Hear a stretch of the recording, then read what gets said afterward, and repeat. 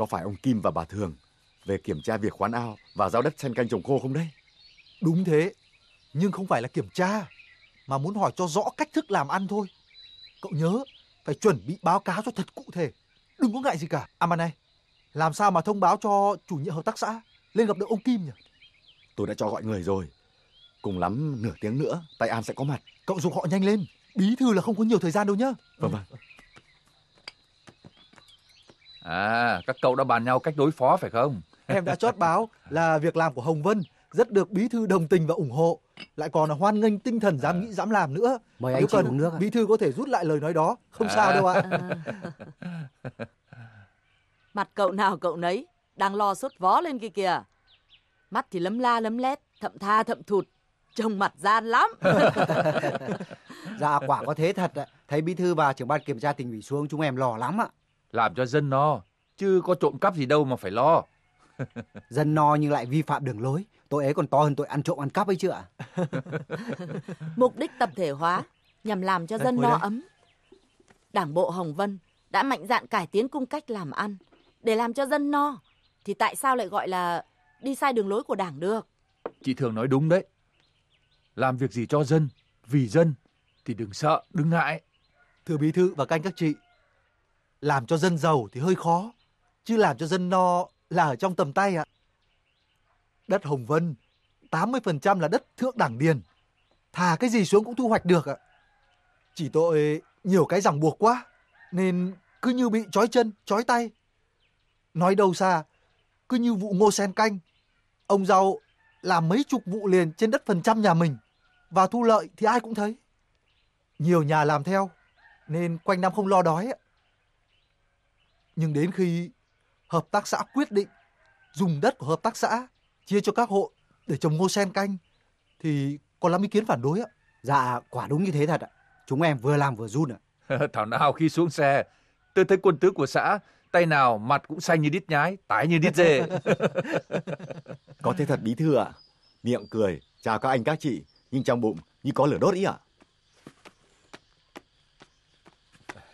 Dạ. Giới thiệu với bí thư, đây là anh An, chủ nhiệm hợp tác xã Hồng Vân ạ. ừ. Dạ, chào bí thư ạ. Chào các anh ạ. Dạ, chị là... Đây là chị Thường, trưởng ban kiểm tra tỉnh ủy.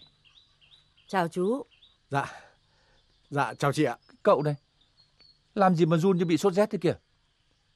Tôi với chị Thường về đây là xem xét kiểm điểm việc cậu dám giao ao giao đất cho xã viên làm giàu. Có gì đâu mà sợ hãi thế. Dạ, dạ, báo cáo bí thư, ờ, bí quá nên làm liều. Ờ, chỉ mong bí thư và trưởng ban kiểm tra tỉnh ủy thông cảm cho ạ. Cứ làm bậy, rồi lại bảo cấp trên thông cảm. Thế theo cậu, bây giờ tớ phải thông cảm với cậu thế nào đấy? Dạ, báo cáo đã nhớ ra rồi. Ừ, Chỉ mong bí thư và trưởng ban kiểm tra tỉnh ủy giờ cao đánh khẽ chứ biết làm thế nào bây giờ ạ. Em cũng chỉ mong là cho dân được no nên mới làm liều ạ. Lão Kim lão ấy trêu chú đấy. Dạ. dạ. Vậy mà em cứ tưởng Tưởng phen này chết đến nơi rồi phải không? dạ vâng ạ. Dạ 10 phần em tưởng là chết 8 9 rồi ạ. Dạ dạ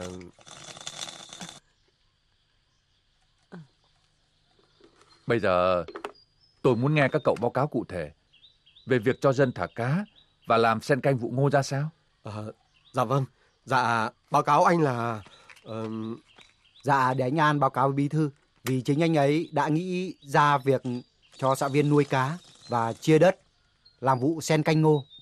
Ờ, và chính anh ấy cũng là người trực tiếp chỉ đạo thực hiện. Còn chúng em chỉ là người ủng hộ thôi ạ. Được. Người trực tiếp làm sẽ nắm cụ thể sự việc hơn. Cậu An báo cáo đi. Dạ, báo cáo đồng chí bí thư. Quyết định cho xã viên tự thả cá và làm vụ ngô sen canh cũng chẳng dễ dàng gì ạ. Phải đấu tranh đến sứt đầu mẻ chán với một số đảng viên trong tri bộ. Nhận đủ mọi lời quy kết, buộc tội. Có đảng viên còn nói thẳng vào mặt tôi là hễ cứ thấy dân đói là nhắm mắt, phản đảng hay sao?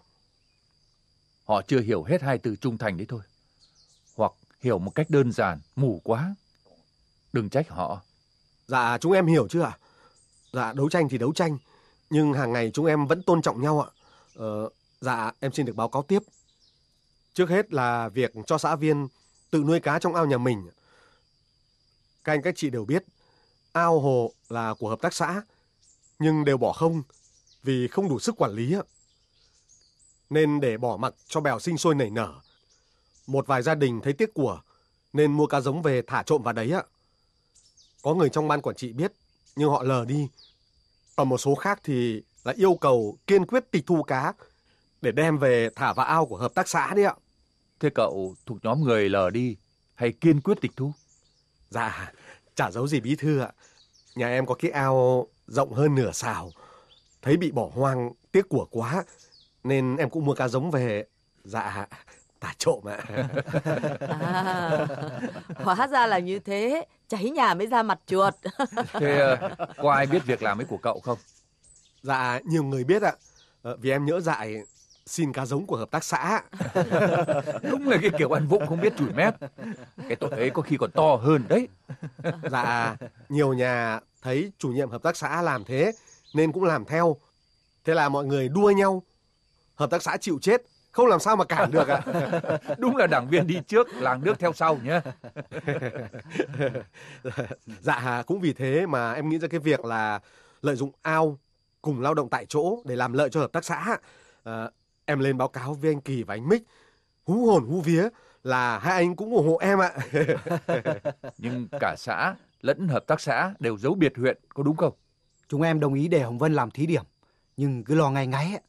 Chỉ sợ huyện phát hiện thì chết ạ. Hôm anh bằng xuống Hồng Vân, vừa nhìn thấy mặt là chúng em đã toát hết mồ hôi hột. Còn run hơn cả hôm nay ạ. Có nghĩa là sợ bí thư huyện ủy hơn tỉnh ủy chứ gì. Dạ, đúng thế đấy ạ. Vì sao? Cứ nhìn thấy gương mặt của bí thư huyện ủy tươi hớn hớn đi cùng với phái đoàn của tỉnh là em đoán ngay ra điểm lành ạ. Mỗi năm hợp tác xã thu được bao nhiêu tấn cá từ các ao của xã viên? Dạ, hợp tác xã cấp giống ạ. Ờ, các gia đình tự chăm sóc. Tùy theo mặt nước ao mà hợp tác xã tính phần trăm thu về ạ. Ờ, lúc đầu thì tính chia ba. Người nuôi hai phần, hợp tác xã một phần. Nhưng sau thấy làm như vậy thì những nhà có diện tích mặt nước nhỏ thì chẳng được bao nhiêu ạ. Nên xã quyết định làm theo phương án xã viên đề xuất ạ. Ao có diện tích trên 200 mét vuông thì nộp cho hợp tác xã là 25 cân ạ. Ao dưới 200 mét vuông thì hợp tác xã thu 20 cân ạ. Còn ao dưới 100 mét vuông thu 10 cân. Có nhà chỉ thu có 5 cân thôi ạ. Vì ao bé quá. Thế mà tính về thu mỗi vụ cá, hợp tác xã thu về là trên dưới 5 tấn ạ. Dạ, số cá hợp tác xã thu được không phải bán lại cho nhà nước mà bán rất rẻ như giá cung cấp cho các gia đình không có ao ạ. Còn những nhà có ao rồi ạ thì cho bán tự do ngoài chợ đấy ạ. Giá như hợp tác xã nào trong tỉnh cũng chăm lo được đời sống cho dân như thế thì quá tốt. Dư luận của xã viên về những việc này như thế nào? Dạ, báo cáo chị là xã viên họ phấn khởi lắm ạ. Ờ, dạ, họ mong mỏi là vụ lúa má cũng được khoán thẳng cho gia đình. Nhưng vụ ngô sen canh ấy, thì hợp tác xã sẽ giàu to. Sao cơ? Dân muốn khoán thẳng cây lúa à? Dạ vâng, đó là dân mong mỏi như thế ạ. Chứ còn chúng em bố bảo cũng không dám cho làm như thế ạ. Sao không cho làm? Dạ, vụ ngô sen canh chỉ làm mấy tháng, thu hoạch xong lại trả đất cho hợp tác. Còn nếu như giao đất cho xã viên làm lúa, thì có khác nào mở đường cho nông dân trở về với cung cách làm ăn riêng lẻ đâu ạ. Khó nhỉ? Hmm.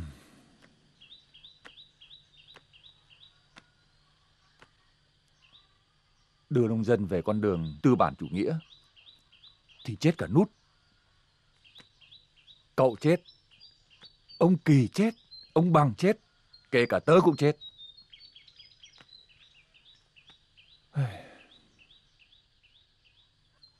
Thôi được rồi. Cậu kể cho tớ nghe về việc làm vụ ngô sen canh. Xem có áp dụng cho vụ lúa được không? Dạ, báo cáo bí thư là người có công nghĩ ra vụ ngô sen canh là ông Rau ở thôn Hạ Hòa. Ông ấy làm được mấy vụ, hợp tác xã mới bắt chiếc làm theo. Thú thật là lúc đầu cũng run khi quyết định chia đất cho xã viên. Nhớ làm xong vụ ngô, xã viên thấy làm ăn riêng lẻ năng suất cao, rồi không trả đất cho hợp tác xã. Bản đi tính lại, ờ, cuối cùng bắt xã viên viết cam kết, rồi mới dám chia đất. Hợp tác xã chịu công cày bừa, giống, nước tưới. Đến vụ mỗi xào nộp 25 cân ngô khô, coi như là trả công hợp tác ạ. Làm vụ ngô sen canh có ba cái lợi lớn. Thứ nhất, xã viên thu được một sản lượng lương thực không nhỏ. Thứ hai, tận dụng được lực lượng lao động nông nhàn sau vụ mùa. Thứ ba, nông dân lại có cái đun ạ. Ừ, một mũi tên trúng ba đích. Dạ, giá như khoán được cho vụ lúa thì hay quá bí thư ạ. Từ từ đã.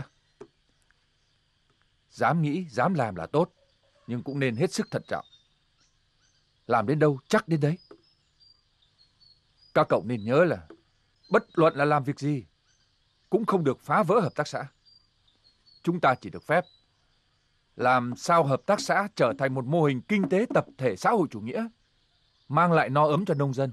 Vâng, chúng em hiểu điều đó. Nhưng mà thận trọng quá, đôi khi cũng chẳng làm được điều gì đâu bí thư ạ. Dạ, hay bí thư cho phép chúng em thử liều một lần xem sao ạ? Ừ, đã làm thì phải có kết quả và có sức thuyết phục, chứ không thể làm liều. Các cậu phải dựa vào dân, dựa vào những người như ông Giao ấy. Thế nào cũng tìm ra cách làm tốt nhất. Chết cha rồi. Tớ định đến thăm ông Giao, nhưng bây giờ muộn mất rồi. Chiều nay tôi phải làm việc với tỉnh đội. Nhờ cậu An nói với ông Giao là tớ có về xã làm việc, nhưng không kịp đến thăm ông ấy nhé. Hẹn dịp khác. Bí thư yên tâm, biết bí thư ủng hộ, chắc ông ấy vui lắm ạ. Việc các cậu đã làm ở Hồng Vân ấy, cứ yên tâm. Ai nói gì, cứ bảo thẳng là bí thư tỉnh ủy đã biết việc này rồi. Ai thắc mắc gì, cứ lên gặp tớ mà hỏi nhé. À, vậy là chúng em có thể thở hắt ra được rồi đấy ạ. Nói vậy thôi, nhưng rồi đây sẽ có rắc rối to đấy. Nhưng mọi việc cứ để tớ giải quyết. Mình làm cho dân no, không trộm cắp, không tư túi, thì chẳng có gì mà sợ cả. Dạ. Ta về đi.